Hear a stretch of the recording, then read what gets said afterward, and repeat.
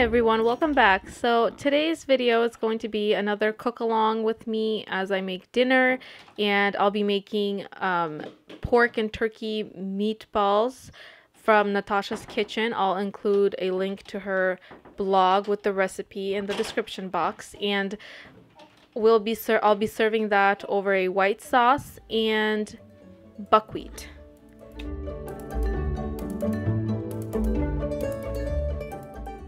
So for today's dinner, I'm going to measure out four cups of buckwheat and I cook it at one cup of buckwheat and two cups of water per cup. So I'll put in four cups of buckwheat and I'll add eight cups of water.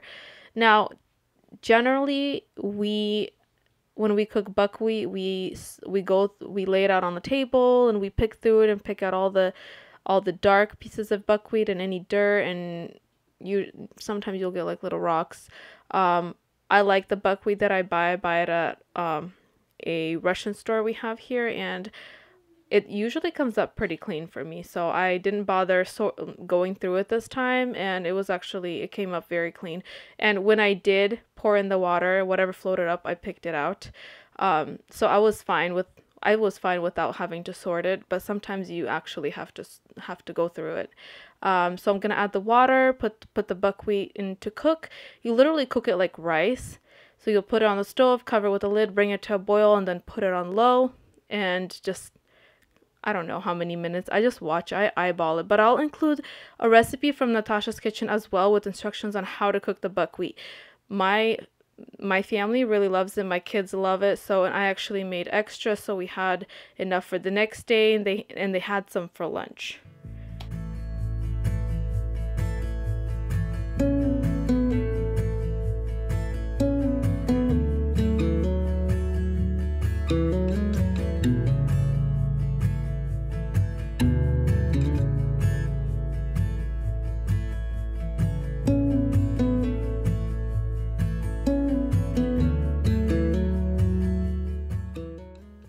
So now that the buckwheat is cooking, um, I I do not actually follow the recipe. Well, I do, but I know it by heart, so I just kind of eyeball it now. So once you, if you want to cook buckwheat, um, go by the recipe that I will include in the description box. Um, but I'm gonna bring it to a boil on high and then I'm put it on low and let it cook for another 10-15 minutes. I'm gonna I I'm just gonna watch it and check when it looks like it's ready. Um, now I'm going to peel the onion and guys, this onion burned so bad. I was crying and tearing up and my eyes were just everywhere. I oh my goodness, I do not like dealing with onions. I think there's two things I don't like doing and it's onions and potatoes. I don't like peeling potatoes. They don't burn, but I just don't like the process but it's all right. Um, so I'm to chop the onion. I'm to prep everything for the meatballs and start mixing it up. Uh, let's see what else. I'm to grate the onion. In the recipe for um, that Natasha has in her on her blog, the recipe says that you blend it, but I didn't feel like pulling out my blender or a food processor, more like it. I didn't I don't have a food processor and I didn't want to deal with my blender, so I just grated it on a cheese shredder no, I shredded it on a cheese grater. I think that's more like it. Um, yeah, there you go. And mine, as you can see, I use it all the time, so it's all bent and weird looking, but it still does the job. So I'm just gonna go ahead and um, get everything prepped.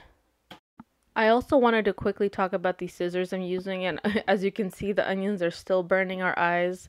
And I actually just learned this thing where cold, the mist from cold water helps your eyes when they're burning from onions. So I tend to do that a lot when I'm chopping onions. I'll walk up and um, I'll turn on the cold water and just kind of like stare at it and it helps relieve the stinging. Okay, anyway, back to my scissors. I got these for Christmas a few years back and I think they're like called like herb scissors or something like that. Something obvious. but um they're really cool. I use them for all fresh herbs that I I mean and as you can see like right now I'm kind of like cleaning them out because the herbs tend to get um, stuck in there but it's okay i mean it's a small problem and it doesn't really bother me and they they clean easy if you wash them right away and just let them air dry um, I really like them and it's a really cool trinket to have.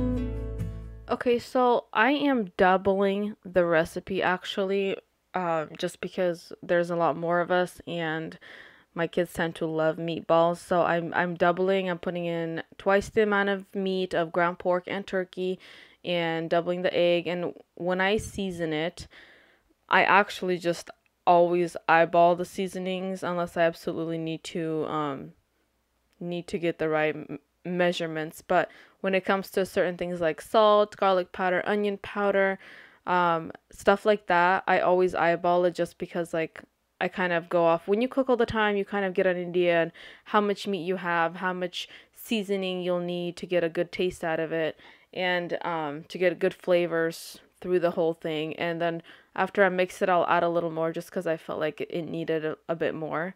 And they turned out perfectly flavored. But I suggest that if you don't know how to eyeball it, definitely go by the recipe and adjust as needed.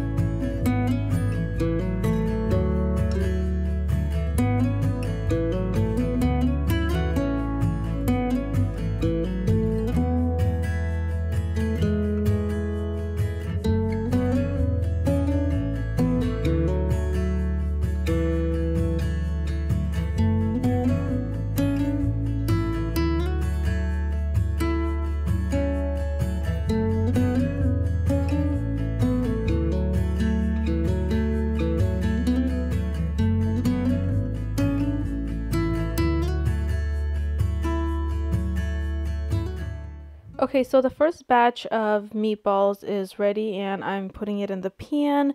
And I actually, after I read the recipe and the instructions, I actually really like Natasha's method because you don't have to cook the meatballs through all the way.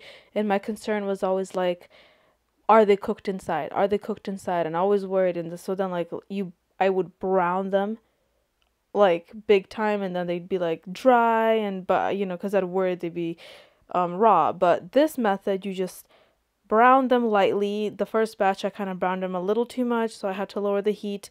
But you brown them lightly on both sides, and then you pop them in the oven, and it cooks them through really nicely. And they're still juicy and not dry at all.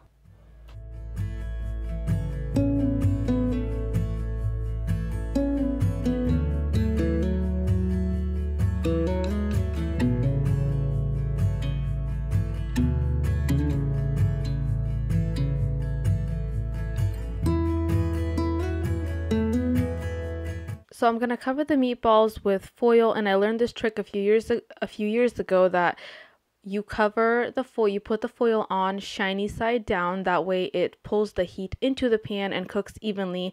Because if you do the shiny side out, the heat does not go into the pan evenly.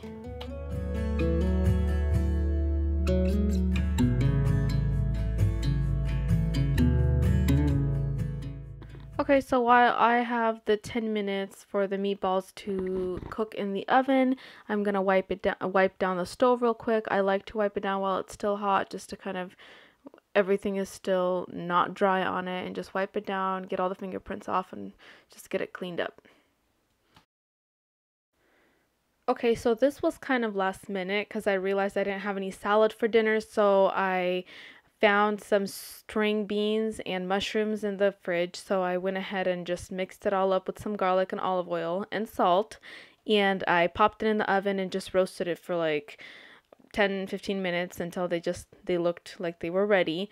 And um it's a pretty big hit here. Everybody really likes them and it's kind of one of my favorite ways to cook it.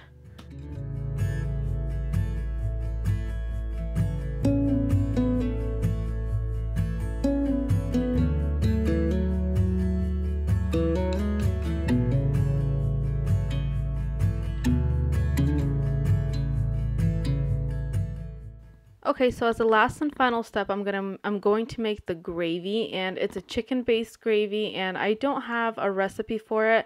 I literally just eyeball it. I kind of make my own gravy. You can literally use any gravy you want. You can buy it at the store. You can get it in a can. You can go off of any recipe you find on Pinterest. I wrote down the ingredients that I used for my gravy, and this is a popular one we like to do. I just kind of combined all the flavors and seasonings that we like in our food and made a type of gravy for the meatballs.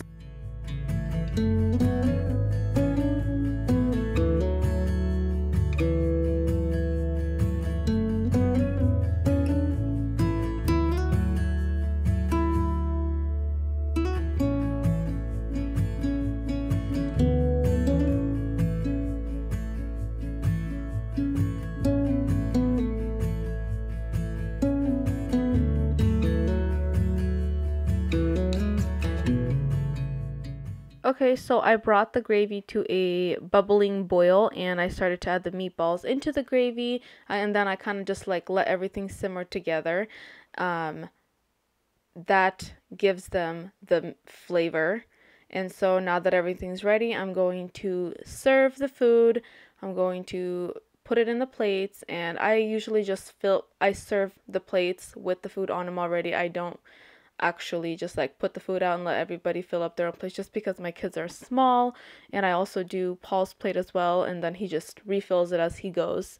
Um, so this is the end of my video. If you guys liked my cooking video, let me know below. Give me a like. Um, if you find my recipes interesting, let me know. Um, I just thought it would be cool to share the certain recipes that work very well in large you know, what our large family eats and, you know, stuff that is very popular. And these meatballs were a big hit. They ate everything. Like, even my pickiest child was like, Mom, these meatballs are so good. I definitely recommend you guys try them. It was it was a really big hit. I'm really happy because I was having trouble finding a good recipe for meatballs and I found it on Natasha's Kitchen. Thank you guys so much for watching and I will see you guys next time. Bye!